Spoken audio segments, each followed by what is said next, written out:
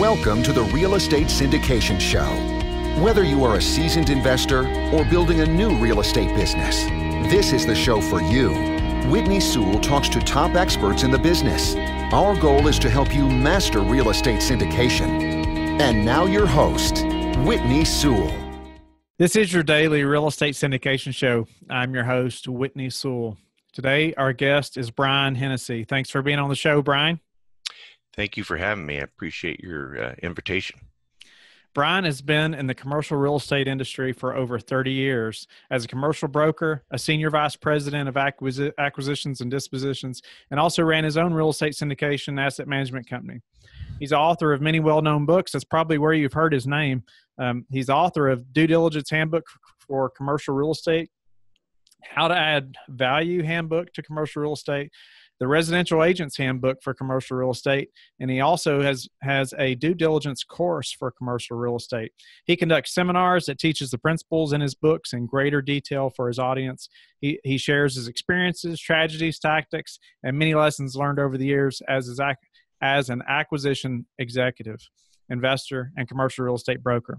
Well, thank you again so much, Brian, for being on the show and uh, give our listeners a little more about your background in case they haven't heard of you before uh, and tell us how you got into specifically the syndication business.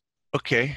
Um, what happened was I've been in the uh, commercial end of the real estate industry, commercial real estate uh, as a broker and syndicator and acquisition person for uh, about 35 years. And what happened was after 18 years of being a commercial broker, I had a client of mine that uh, invited me over to become his um, senior vice president of uh, acquisitions and dispositions in a uh, an investment firm that he had founded, and uh, I had sold him a couple of buildings, and uh, he had worked on me coming over, but he was intent on growing this thing.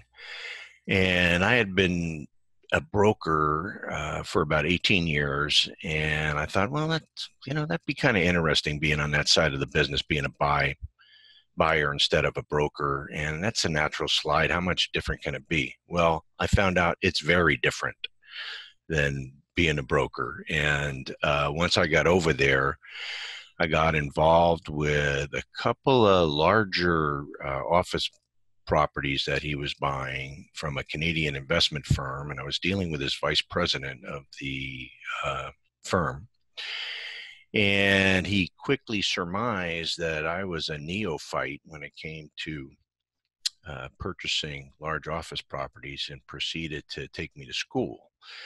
And what turned out was a very stressful uh, due diligence period where I had to keep track of all this information and uh, had like six legal pads on my desk and scribbling who who did I ask what and who knew, who owes me what information and what else do I need to check out and when is that person getting back with that answer and as the due diligence period uh, continued on and got closer to the end, the heat got turned up, and I started getting calls from the uh, real estate attorney, the accountant, the lender, the investor, you know, and I was like, I couldn't wait for it to end. It was just you know, laying awake at night trying to think about what else do I need to get.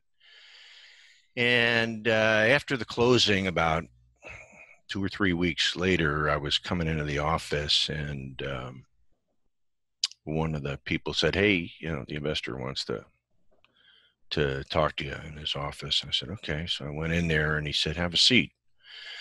And uh, he got up and he closed the door. And after a long silence, I heard, um, "I want to know how you missed all this information during the due diligence period on these properties." And I was like, which information and he proceeded to go through some stuff which quite frankly i i remember asking for some of it some of it i didn't ask for but you know as if i was supposed to know all this stuff and i i didn't you know and i all i could say was i'm sorry i i didn't realize and he said i i think i made a huge mistake making you my head of acquisitions and dispositions and i was I didn't know what to say. I just was humiliated and embarrassed and thinking maybe he was right.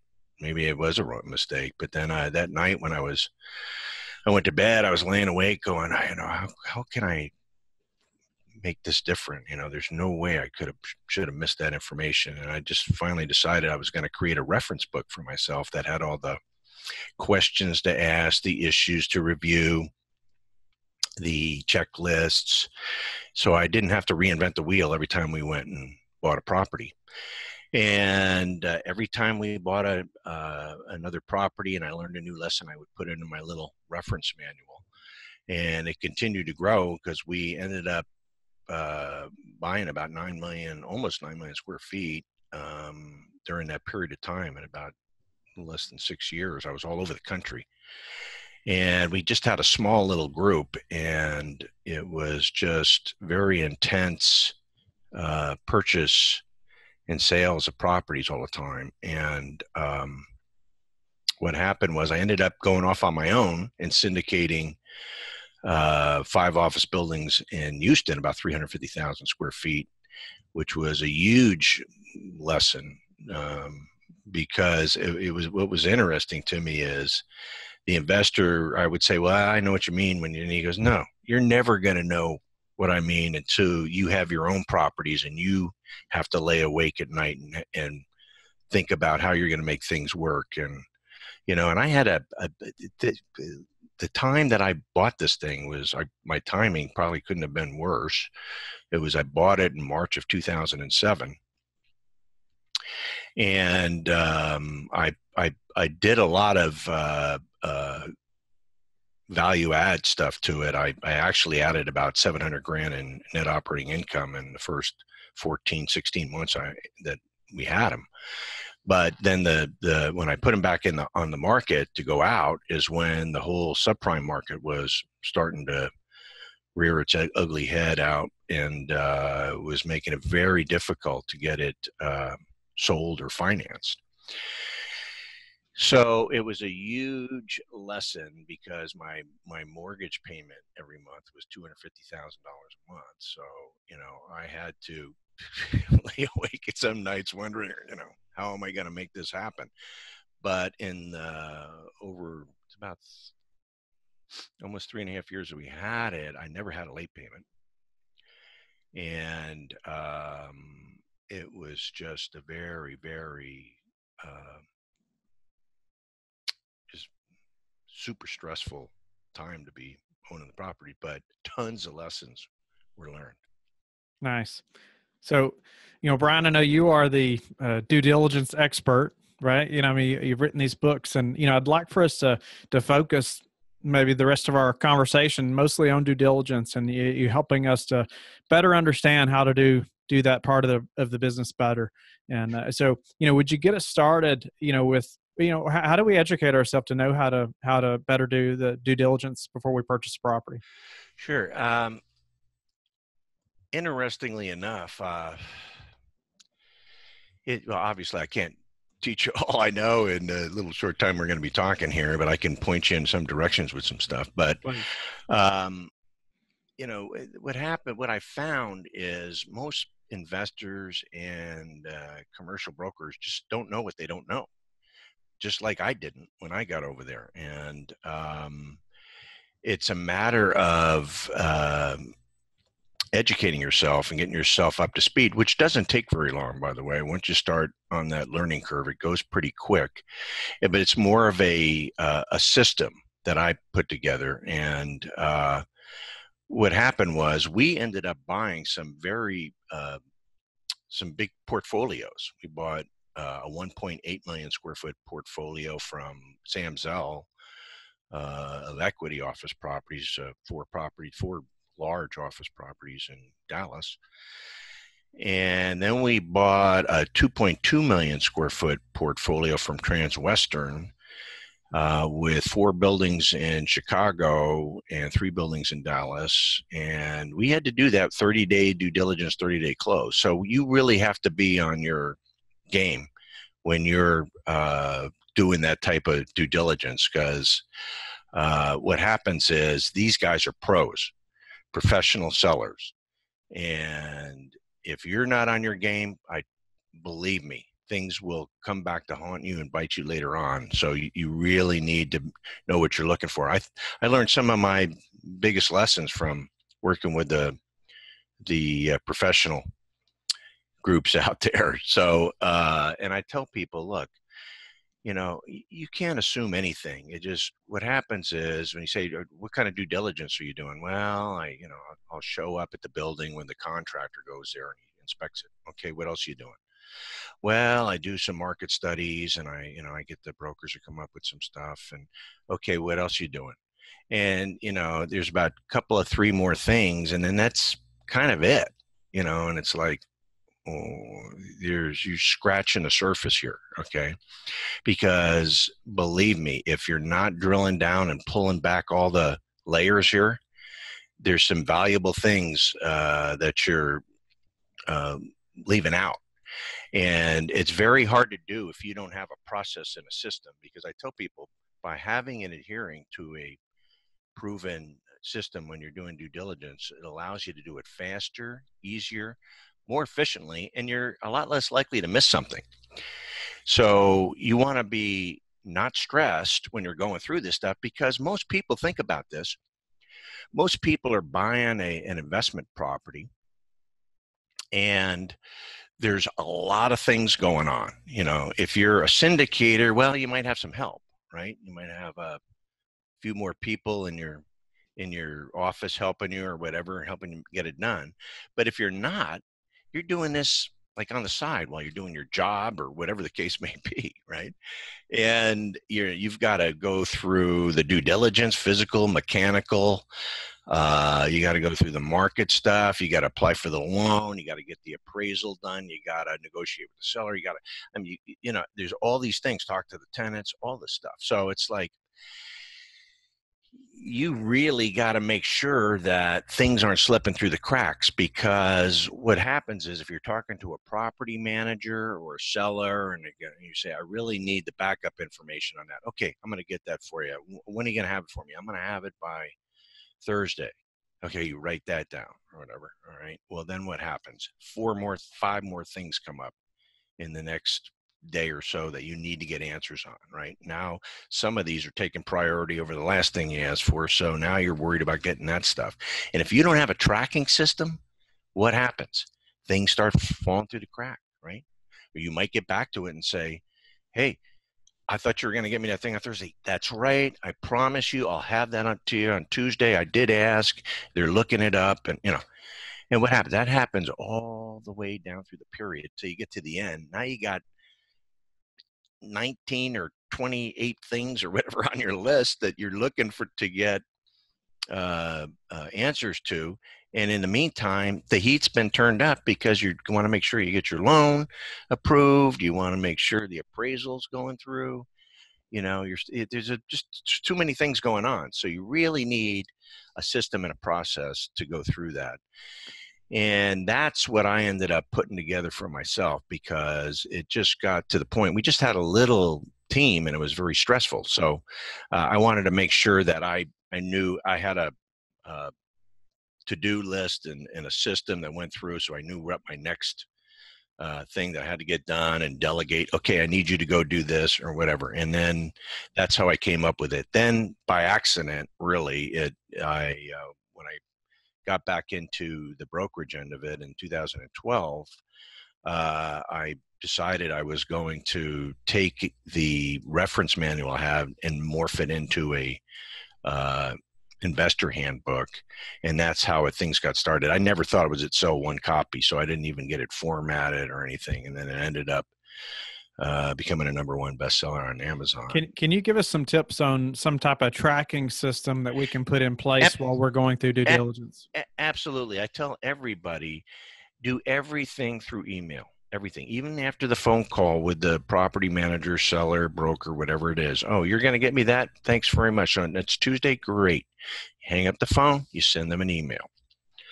As per our conversation, we, you're going to get me the the backup information on the paid tenant improvements or whatever the case may be, right? The the paid commission amount, the clearance, the lien releases on the you know uh, whatever the whatever mechanics liens whatever it is that, that you're looking for and now you have a tracking system right and so what happens is you can go back as you start uh, getting closer to the end you start reviewing all your your emails and say wait a minute we never got and make sure that you're putting all of your team members cc'd on it too because everybody's you know you want everybody on the same page right and then uh, what happens, you're getting towards the end, you're going through and say, wait a minute, we never got this, we never got that. So I'll give you an example. Okay, we're buying an office building. We were supposed to get uh, backup on paid commissions and tenant improvements that the contractor had done and that they were paid. And yes, we're going to get that for you. And a couple of days before, I said, I never got the backup you kept promising me uh, uh, for the $45,000 in tenant improvement work. And if we don't get the canceled checks, then we're going to expect a credit at the close of escrow. Well, all of a sudden, now it's, you know, the real truth comes out. It's like, well, we have a dispute with that contractor. Well, you do. Okay. Well, either you clear it up or we're getting the credit, one or the other and uh, miraculously these things get cleared up you know or they or you end up getting a credit but if you if you don't know about them they're hoping you forget all about them so once you once you close it's very difficult to go back and get get your money from them but i tell people worst case scenario is you got some paper trails that you can show to the judge and say your honor i asked them four different times for this they never gave it to us and uh, fortunately, you know, hopefully, you'll never have to get to that point. But that's the whole idea of doing the due diligence probably the first time. If you do, now they're motivated to get it closed. They're nice. going to get it cleared right. up. Right. So tell us, you know, a couple of the biggest issues you see during due diligence that that maybe newer investors or, or people make. Um, new newer ones have a tendency to assume that they're going to be able to get the loan they think they're going to get on the property and um, they don't check with lenders ahead of time. They just kind of get into it and then find out, well, whoa, I, you know, why are you holding back reserves on that, and you know that that type of stuff. So it's important. Sometimes you're not going to know some of this stuff till later, but I would tell don't be afraid to at least float it by some lenders and find out to get a soft quote on it. Yeah, yeah, we lend on that kind of property, and this is what you can expect. And uh, especially if there's you know some hair on the deal you know there's issues you know environmental or a lot of vacancy uh, any number of things could be right? You want to make sure you bring that up because they say oh yeah no we're going to hold back you know a bunch of reserves on that because uh, you know we we normally don't lend on those type of deals or something. So that's that's one mistake not understanding the the underwriting.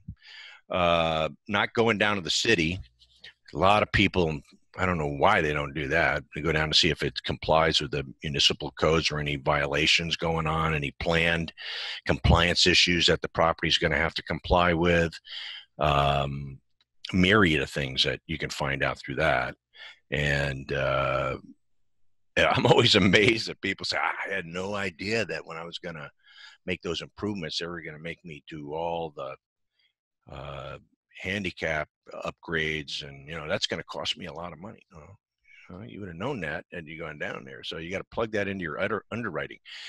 Uh, the other thing I was amazed about is the people don't. The underwriting is not something you do once when you buy the property and then, you know, you hope it all works out. It's something you're adjusting as you're going through your due diligence period. Whoa, I didn't know that. Okay, this per this tenant that I spoke to said they're probably going to vacate, so I got to plug in some downtime, TIs, commissions, whatever, right? These types of things uh, need to be accounted for because I always tell people this is the crux. This is the absolute crux of uh, real estate investing. Okay, you rarely is the property worth the same as the accepted offer price that it is uh, at the end of the due diligence period once you've had a chance to go through and find out all the issues and the problems and the costs and expenses that you're going to have to deal with. And I tell people you want to know this stuff because you want to be able to.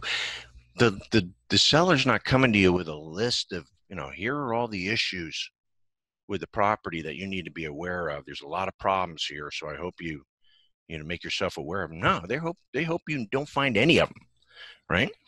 So when you get to the end, you go, wait a second, whoa, I did, you know, I never knew this tenant was going to vacate. Hey, I never knew this, you know, this wall, you know, the building hasn't hasn't been wet sealed and you know, uh, you know, 12 years and now the windows are leaking and that the HVAC units are at the end of their useful lives and the the elevator needs or elevators need uh, modernizing and the roof has got about five more years and it's going to have to be replaced.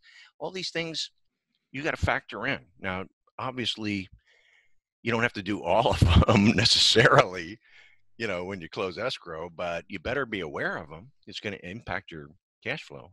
Right. Right. And, so and you want to be able to go back to the seller and say hey you know what I don't expect you to credit me for, uh, you know, all these things, but I, I am going to expect a, a discount of X amount uh, if I'm going to be able to go non-refundable with my money and uh, proceed with getting this thing done. All right. So, so changing gears just a little bit, Brian. Um, you know, someone that comes to you and says, "I really want to get into the syndication business." You know, what, what's some advice you tell them? What's some key things that they need to do? Well, I would say um, you've you've got to be um, diligent, patient. Uh, if it's your first deal, don't give up. Um, you're going to make mistakes. Uh, it, it's going to be um, difficult generally speaking, to get the first investors in if it's your first deal. But if they believe in you, you'll get people um, coming in and, and cutting you a check and say, hey, you know what? That sounds like a, a good deal to me. I think I'll go. Once you have the first few people investing, it's easier to get the rest. Nobody likes to be the first one necessarily to to cut the check, but um, uh, I tell people, look, I my story of buying those five office, but that was my first deal that I syndicated myself. It was uh, 20, $25 million deal. And uh, I was in the office till late at night trying to get people to invest with me. And they knew that I knew what I was doing, but it was difficult. Like, your first deal you're you're doing this and you know so it was like finally i got the first few guys that put up the money, then all of a sudden it just started coming and to the point where I had to tell people, no, I'm sorry, I'm fully subscribed. You, you can be in on the next one. I can't, can't take any more investors for this one. And, um, then, then it's, it's kind of like a fire rites passage, which you could probably relate to, right? Sure. Sure. No, yeah. that's, that's some great advice. And, you know, tell us the, the one, the number one thing that's contributed to your success.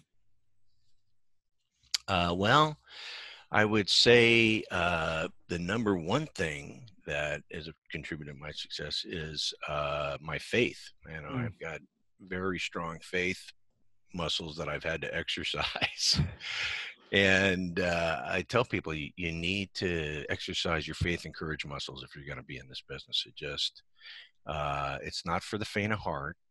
Uh, you're going to get a ton of tests. Um, you're going to fail and you're going to succeed but they are interrelated so don't be afraid to fail. That's how people learn. We're we're um, built that way right? So uh, it's only failure if you don't learn from it.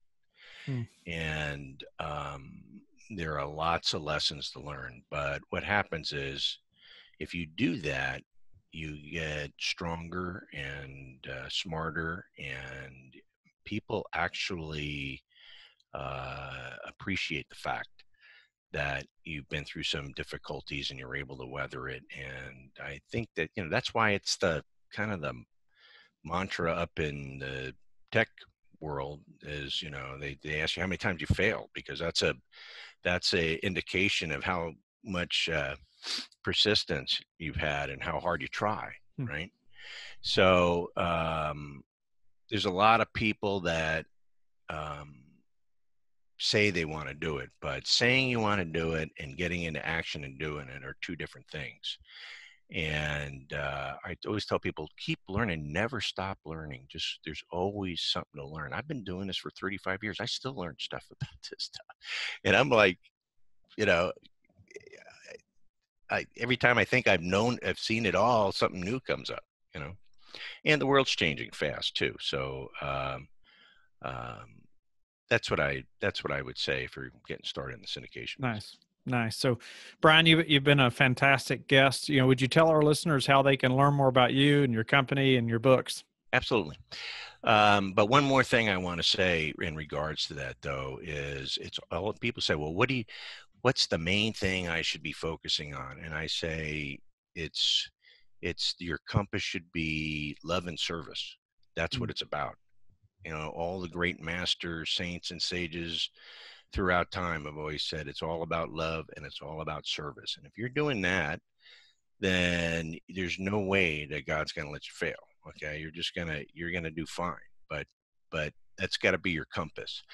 Um, in terms of uh, getting a hold of me, uh, and you want to learn more about due diligence, which I highly recommend you do, because I call it failure proofing yourself uh, when it comes to uh, investing in real estate because um, there's just way too many uh, variables to go uh, leave un, unleft that you know if you if you do you're gonna you're just something's gonna come back to haunt you. And it's not about hey you know buy it and eventually it's going to go up. It's much more real estate's much more complex today than it, than it has been when I first got into business. People think, oh, it's simple, just buy and it's going to go up. And no, it, there's a lot of other variables. We've just been through a very unique cycle with the low interest rates that I've never seen, by the way, in my career. I never dreamed they were going to be this low. So don't think that they can never go up again because they do. I've actually seen them go up to 18 and 20 percent in my career. Wow. So, um, and when I first got into the business, they were like 9, 10 percent. So um, you have to be aware of this stuff. It does change all the time, and it's all cyclical. So don't think it just will forever keep going up and nothing's ever going to change because that's right. I've heard it way too many times. But um, go to uh, uh, Impact Coaching Systems impactcoachingsystems.com. That's with uh, an S, impactcoachingsystems.com. And if you do uh, forward slash courses, you can uh, get access to my course. I, I, told Whitney that I would offer a 25% discount uh, to his listeners. And if you put in the code WS25, as in Whitney Sewell 25, um, you will get a 25% discount off the course price. And in it, I teach the deep dive principles of due diligence. And you've got 30 days. If you don't think it's worth at least, I, tell people, if you don't think it's worth at least 10 times what you paid for it, uh, then just send me an email. I'll refund your money. No pro, no questions asked. Um, I think personally, you'll think it's worth a hundred times when you get through because you'll see the value that it has.